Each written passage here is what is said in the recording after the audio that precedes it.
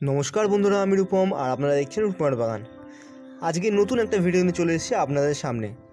আজকে ভিডিওর মূল বিষয়বস্তু হলো বেগুন গাছ। তো আপনারা এই সময় এখন সবাই বেগুন গাছ করতে পারেন কম বেশি। বেশি না দুটো থেকে তিনটে বেগুন গাছ থাকলে কিন্তু আপনাদের বাগানে বা মাটিতে করুন বেগুন গাছ বা ছাদের উপর করুন যে কোনো জায়গায় কিন্তু প্রচুর পরিমাণে বেগুন ফলানো কিন্তু সম্ভব। সেটা কী করে করবেন? আচ্ছা প্রথম থেকে আমি কয়েকটি পর্যায়ে বলে দিচ্ছি বেগুন গাছ কী করে আপনারা শুরু করবেন। প্রথমে আপনারা বেগুন গাছ আনলে, আনলেন। এবার তারপরে কিন্তু সেটা কিন্তু কোনো, বেশি কোনো সার মাটিতে বসাবেন না।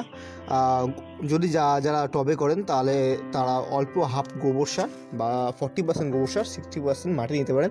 তার সঙ্গে অল্প করে কিন্তু হাড়ের গুঁড়ো, একদম সামান্য এক চামচ মতো হাড়ের গুঁড়ো নিয়ে আপনারা সেই বেগুন গাছ প্রতিস্থাপন করতে পারেন।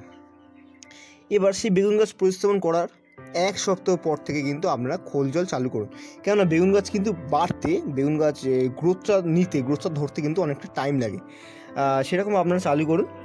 আর এক সপ্তাহ পরে কিন্তুই আপনারা সেই খোল জল চালু করবেন। খুবই পাতলা এবং পনেরো দিন অন্তর অন্তর খোল জল দিতে থাকুন। এবং তার সঙ্গে অল্প করে আপনারা কিন্তু এক মাস অন্তর ডিএপি কিন্তু এক মাস অন্তর বলব না পনেরো দিন অন্তর যে খোল জল দিচ্ছেন তার সঙ্গে কিন্তু আপনারা ডিএপি ব্যবহার করতে পারেন। তাহলে কিন্তু বেগুন গাছ খুব তাড়াতাড়ি গ্রোথটা ধরে নেবে। আর গ্রোথ ধরলে কী হবে? খুবই প্রচুর পরিমাণে ডালপালা ছাড়বে এবং তার সঙ্গে কিন্তু প্রচুর পরিমাণে ফুলও দেবে এবং ফলও আসতে কিন্তু বেশি সময় লাগবে না। আচ্ছা বেগুন গাছ করার যে, আমি কিন্তু কোনো ফাঙ্গিসাইড এখনও পর্যন্ত ব্যবহার করিনি, আর দেখতেই পাচ্ছেন আমার বাগানে মানে কী পরিমাণে বেগুন বেগুন ধরে আছে। আচ্ছা ফাঙ্গি ফাঙ্গিস তো ব্যবহার করিনি বললাম, আর কীটনাশক বলব গাছটা বসানোর এক মাস পর থেকে কিন্তু আপনারা যে কোনো কীটনাশক ব্যবহার করতে পারেন, খুব মাকড় নষ্ট হলে খুবই কিন্তু ভালো। আর বেগুন গাছের প্রধান রোগ হলো মাকড় নষ্ট মাকড় নষ্ট কীরকম হয়? বেগুন গাছ দেখবেন যখন ছোটো থেকে হালকা গ্রোথ নিতে শুরু করেছে, কিছু কিছু সময় পাতা দেখবেন কুঁকড়ে যাচ্ছে আর আবার অথবা পাতা দেখবেন নৌকার মতো উল্টে যাচ্ছে। তাহলে বুঝবেন যে এটা মাখন মাকড়নাশক ব্যবহার করতে হবে।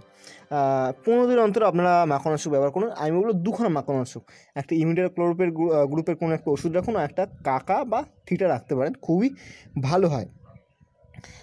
এই দুটো ওষুধ রাখলে কিন্তু আপনাদের আর কোনো ওষুধ ব্যবহার করার কোনো প্রয়োজন হবে না। এইভাবে কিন্তু সারা বছর বেগুন আপনারা খেতে পারবেন এবং সারা বছর গাছ ভরে বেগুন হবে। কোনো হাইব্রিড বেগুন আমি লাগাতে বলব না। যদি দেশি বেগুন লাগান, তার কিন্তু রোগ প্রতিরোধ ক্ষমতা অনেক বেশি থাকে জেনে রাখবেন। আর সারা বছর পাওয়া যায়। আমার এই বেগুন গাছটা দেখছেন, এক বছর হয়ে গেছে, অতিক্রম করে গেছে। করে যাওয়ার পরে কিন্তু অসম্ভব। পরিমাণে বেগুন দিচ্ছে। আচ্ছা যে এক বছর পরি পরিক্রম করে গেছে এবং তাও কি করে এত ডাল, ডালপালা সতেজ আছে তা নিয়ে অন্য একটি ভিডিও করব। অন্য একটি ভিডিওতে আমি আরও স্পষ্ট করে দেখাবো। তো দেখতেই পাচ্ছেন কী পরিমাণে বেগুন আমার বাগানে ফলে আছে। এইভাবে আপনারা বেগুন করুন, খুবই সহজ। বেশি কোনো সার আপনারা ব্যবহার করবেন না, কারণ বেগুন গাছ বেশি কোনো সার ব্যবহার করলে তেতো হয়ে যাওয়ার সম্ভাবনা আছে। তো আশা করি আমার ভিডিও দেখে বুঝতেই পেরেছেন, আর কোনো সমস্যা থাকার কথা নয়। ব্যাস, এইটুকুনি বন্ধুরা। আর যদি ভেবে থাকেন আমি অনেক কিছু বলছি না, তাহলে কিন্তু ভুল। আমি সবটাই বলেছি এবং খুব ছোট্ট করে বলেছি। এইভাবে আপনারা বাগান করুন, বেগুন দেখবেন সবার গাছেই হবে। এবং